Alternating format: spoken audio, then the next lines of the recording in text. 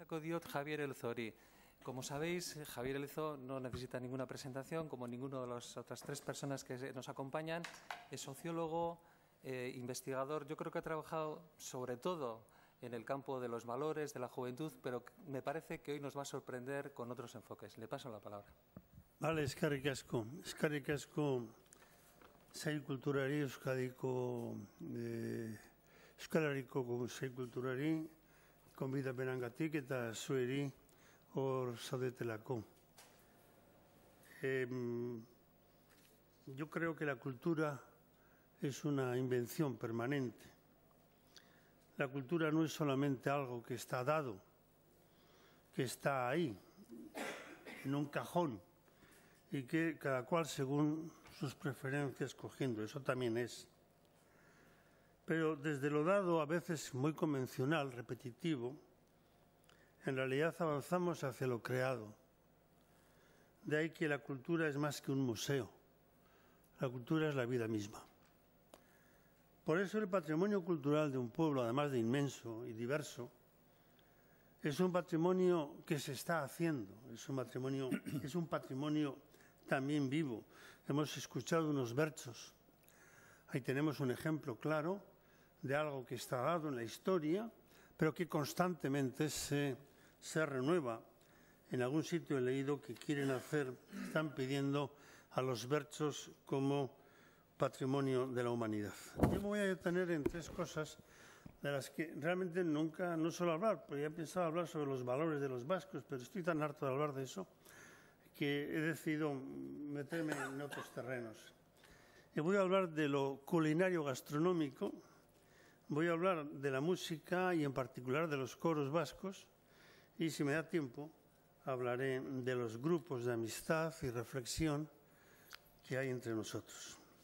Hombre, lo culinario gastronómico, lo que más llama la atención y lo que en primer lugar pensamos todos es en el reconocimiento internacional que tiene la, digamos, la gastronomía vasca, que algunos comparan con las cocinas más importantes del mundo, la francesa, la japonesa o la china.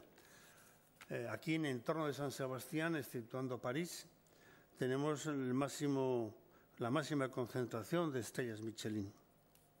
Tenemos la primera universidad culinaria que yo sepa y con muchos alumnos. Hay un reconocimiento social muy grande, eh, digamos, al, a la, al término de a, la, a, toda la cuestión gastronómica y me estoy fijando que en los tambores de oro de San Sebastián lo que más hay son periodistas, lo cual es interesante. Y, de, además de periodistas, después vienen cocineros. Hay tres cocineros y había también un crítico de cocina al quien le quitaron el tambor. Aquí tenemos concursos gastronómicos continuamente, además son muy, muy recordados. Eh, evidentemente la morcilla de Beasain, no puedo no citarla porque yo soy de Beasain. Y obviamente es la mejor morcilla del mundo y que nadie se atreve a decir lo que no. Y hay concursos de morcilla, el concurso de quesos de Idiazábal, el fenómeno de los pinchos, que sí que tú vas a hablar también algo de los pinchos, ¿no? que eh, es verdad que convierte a las partes viejas nuestras en parques temáticos y ahora últimamente cada vez más excepto en los pocos meses que quedamos en casa solamente los de casa, ¿no? Que es básicamente de noviembre a febrero, que es cuando entonces pues estamos los de casa tomando nuestros pinchos. Están las sociedades gastronómicas, eh, de la cual supondría incluso un, tratamiento propio eh, y ver cómo está evolucionando, no del todo, de una concepción paternalista, tanto en el sentido de machista, de masculino, como en lo interclasista, que merecería que me dedicara más tiempo, pero no voy a dedicar a eso. Ah, yo creo que hay una evolución aquí en el, de paternalista a meramente popular, y no son clubs a la inglesa, aunque hay alguno por ahí perdido, pero que esto no es sociedad gastronómica. En la cocina vasca hay, hubo siempre un respeto al producto, que se ha procurado no enmascarar y que se ha procurado no alinear con demasiadas cosas, recordar que la gran revolución de la cocina vasca de los años 60-70 se mm, denominaba la cocina de mercado, la que había en el mercado y la que aliaba lo autóctono con, con lo que había en ese momento. Una triste evolución de esto es el tránsito que vivimos ahora de la calidad de la cocina cotidiana al fast food. Y dejamos ya la, la, la cocina para los fines de semana. Me gustaría dedicar más tiempo que el que tengo a las consecuencias de la prohibición de fumar. Y que conste que no soy fumador. Pero eh, la prohibición de fumar eh, corre por esa especie de cosa que tenemos aquí de pensar que los nórdicos son los más listos, los más inteligentes, los que mejor hacen las cosas, los que mejor han resuelto las cosas. Pues esta prohibición de fumar, mm, tan así como se ha hecho, pues tiene una serie de consecuencias. Una de ellas es que la convivialidad en las sobremesas, pues en gran parte está desapareciendo o es mucho menor. En segundo lugar, los fumadores salen a fumar, digamos, a, la calle, con lo cual los vecinos que vivan alrededor de donde salen a fumar, pues no pueden dormir. Eh, aquí hay quizás un ejemplo de lo que yo llamaría un contrapatrimonio vasco, un contrapatrimonio vasco. Eh, se ha privilegiado el ocio nocturno y ruidoso sobre el descanso intrafamiliar y hemos creado la figura de los bebedores pasivos. Y termino con este primer apartado, mmm, para no pasarme de, mi, de mis 12-15 minutos. Eh, tradicionalmente era la Echecoandre la que cocinaba. Eh, era la, Echecoandre y los grandes cocineros estaban en los restaurantes. Yo me pregunto si es una hipótesis verificable que las nuevas generaciones, los que tienen menos de 35 años, las parejas de menos de 35 años, si los chicos no están cocinando más que las chicas en casa. Dices que no, Garbiñe, no. Bueno, pues yo le he hecho como hipótesis que habría que verificar. La música. Eh, quería hablar de los coros, pero no puedo no empezar hablando del patrimonio musical vasco. O sea, ahí tenemos un patrimonio musical desde muchas cosas. Tenemos desde compositores, intérpretes, cantautores, eh, yasaldis, conciertos de ópera, etcétera, ¿no? Óperas, ya, eh, la impronta, la, la, música, y, está la música y música de la llamada clásica. Eh, yo, los nombres que mientras estaba preparando ese texto me han venido a la cabeza pues son los de Guridius, Andizaga, Solozábal, Aita Donostia, Arrita, tú me has dicho que tengo que decir Gorriti. Te he dicho que voy a decir yo. Sí, pero también lo digo yo. Luis de Pablo, Escudero, Ramón Lazcano, eh, que es, bueno, eh, estos, hay que decir la verdad, es, muy pocos de estos autores vascos son interpretados fuera de Euskadi, y no digamos fuera de España. Muy pocos. Eh, no me olvido de Rabel, que evidentemente nació en Segur, pero Rabel nunca se sintió vasco. Luego ahí tendríamos otro problema en el cual no voy a entrar quién es vasco. Pero Rabel nunca se pero no sé que me haya olvidado de Rabel que es de todos los vascos de cuna, evidentemente el más internacional. A veces se cita a los esclavos felices de Arriaga, al cuarteto de Arriaga, pero muy poco más. En, en intérpretes sí tenemos mucha más Achuca, Roza, Valeta, y hay gente moderna que a mí me gusta mucho recordar. Algunos son de aquí, Judith Jauregui, Josué Quiñena, y luego básicamente los hermanos Mena. Juanjo Mena, es director de la orquesta de la BBC en Manchester, es una figura internacional como dirección de orquesta, y su hermano Carlos Mena, eh, pues es un contratenor de primera fila. Pero también están los cantautores vascos y, claro, tengo que citar en primer lugar a Urco porque lo tengo que delante, si no le cito ahí la que me... La que me... Pero aquí Xavier Lete, Miquel Aboa, Benito Richunde, Kepa Junquear y un montón. Y tenemos la música rock y punk vasca que tiene su fuerza y que y que tiene su expresión, digamos, de la cultura. Yo, los nombres que se me han ocurrido son Cortato, Fermín Muguruza, Duncan Don, y la verdad es que mmm, no ha dejado de sorprenderme un grupo que no sé si sigue en funcionamiento, ya me dirás luego la cena, que se llama Nuevo Catecismo Católico. Existe ese grupo y ha desaparecido. Es que no deja de llamarme la atención que haya un grupo que se llame Nuevo Catecismo Católico. Y luego está evidentemente la música religiosa en la cual muchos de los que tenemos nuestra edad entramos a la música. Pero quiero hablar de los coros. Y en los coros tenemos ciertamente los coros que sin ser profesionales son profesionales y que realmente han ejercido y siguen ejerciendo una influencia, bueno, una presencia, mejor dicho, e influencia muy grande eh, pues el, el Orfeón Donostiarra, el coro Easo en todos sus conjuntos, el Andramari, el coro grogueranista, en las localidades, la bendita coraloina de Beasain. También hay en Vergara, el Orfeón Vergarés, pero es mejor la coraloina de Beasain. ¿eh?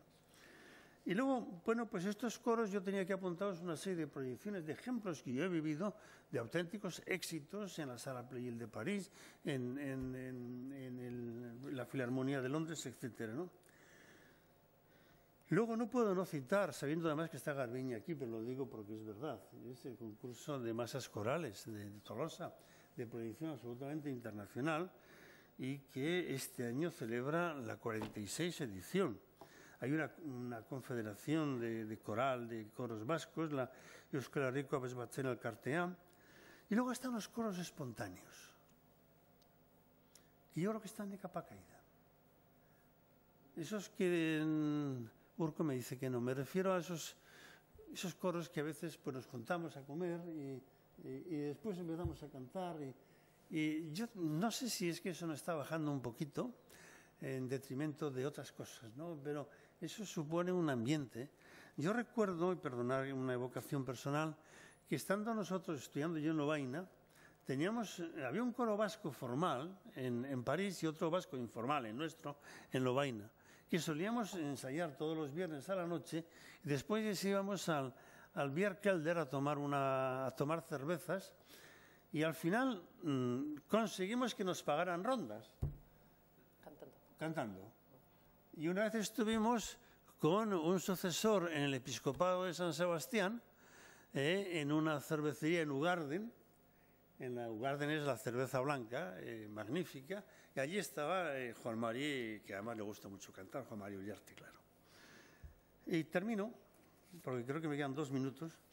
Y quisiera hablar de la, de, de la tercera parte, de, que es, digamos, los grupos de reflexión, los grupos de, que, que existen entre nosotros eh, eh, para pensar. Hay algunos de carácter científico y de, de, de altura internacional, pues, pues entonces es conocido el Donostia International Physics Center. Eh, en mi mundillo, pues en, en, Deusto tenemos el Grupo Europeo de Valores, eh, que ahora sé que están preparando la investigación, eh, la quinta investigación europea de valores. Pero luego hay otros grupos tipo Shago, al que yo pertenezco, que es un grupo de personas que nos juntamos desde hace ya 15 años. Nos hemos reunido más de 160 veces los segundos viernes de cada mes para arreglar el mundo. Y charlamos, discutimos entre nosotros, eh, y a veces invitamos a alguna persona que venga a hablar. Y yo creo que estos grupos son muy importantes. Eh, además de los shagos, después yo he podido indagar por un articulito que he escrito que hay otros grupos por ahí que también se reúnen. Yo he sido invitado a, a, dos de estos grupos en Vizcaya y a dos en Guipúzcoa. Y luego hay muchos grupos en Euskadi eh, con un afán, mmm, a veces puede ser simplemente de estar juntos. Yo preparando esto en un, en un autobús vi eh, la, la, asociación de no, los amigos de los amigos de la poesía, creo que era de Chaurrondo, o habré leído mal, o será de, de, de Alza, pero en, el autobús, en las, bueno, pues así como hay eso, pues hay una serie de grupos que algunos voy a citar, ¿no? La Asociación Cultural Eragin, por ejemplo, en Guipúzcoa, lleva años y años haciendo una labor enorme. La Asociación Sarautzón, la Fundación Arizmendiarrieta, Eticarte, eh, la Escuela de Experiencia de Goyer y Rola eh, Garaya, y, como estos hay otros muchos grupos que simplemente a veces están de, arte, fotografía, eh, el Camino de Santiago, eh, caza y pesca, eh, Pirenaica, en fin. Yo creo que en Euskadi hay bastantes grupos eh, de personas que se reúnen para hablar, para conversar, para divertirse, no solamente para comer. No solamente para comer. A nosotros en Shago nos ha costado convencer a los restaurantes a donde íbamos que nosotros no íbamos a comer, que íbamos a hablar. Y a uno de ellos que pretendían, digamos, explicarnos el contenido de cada plato, le decíamos que no. Y, pero ves que hemos, os hemos puesto con todo cariño y nos explicaban esto, iba con los que no, que no. Aquí darnos una comida con un precio ajustado y dejarnos hablar. Y de eso hay más de lo que pensamos. Sí es cierto que, y, mm, que a mí me gustaría, era la última cosa que quería decir, eh, pero antes quiero añadir otra cosa también, que me gustaría que estos grupos tuvieran más de visibilidad social y sobre todo que participaran más en el diálogo social. Que no solamente quedarán, y eso es una cosa que nosotros en los shows dijimos que también íbamos a ir de vez en cuando, pues, pues no como lobbies ni para decir a la gente lo que hay que hacer, sino simplemente para participar en el diálogo social, en lo que se llama, digamos, la sociedad civil. Y quiero decir que mm, últimamente, y me alegra mucho decirlo, yo en, mi, último libro que he escrito, eh, lo señalo casi al final, se han creado en Guipúzcoa, mmm, perdón, en Euskadi y en Euskadi también en Navarra, en la Comunidad Autónoma Vasca y Navarra, se han creado grupos en torno al fenómeno de la reconciliación. Eh, yo tengo aquí una lista, pero no voy a leer porque si no aquí me va a decir. Pero hay bastantes. Eh, yo creo que podemos hablar de unos 30 o 40 grupos que no son conocidos en este momento en, en, en Guipúzcoa, eh, el Foro de la Convivencia de Tolosa, eh, en Urnieta Paz y Convivencia, procesos de diálogo y encuentro en Zarau, Cirún, Orio y Ondarribía, procesos de diálogo y encuentro en Portugalete, Echevarría, Balmaseda, Polifonía Abierta, que es una sociedad civil en busca de la paz, en base a, etcétera, etcétera, etcétera. Algunos son de carácter parroquial, otros son grupos de amigos, otros están, digamos, eh, les ayudan, pues, eh, eh, ya no Gesto por la Paz, pero también Gesto por la Paz, o bien Locarri, o bien Baqueas, etcétera. Y mm, yo creo que estos grupos son una esperanza de que la reconciliación poco a poco se hará en Euskadi. Asko. Vale,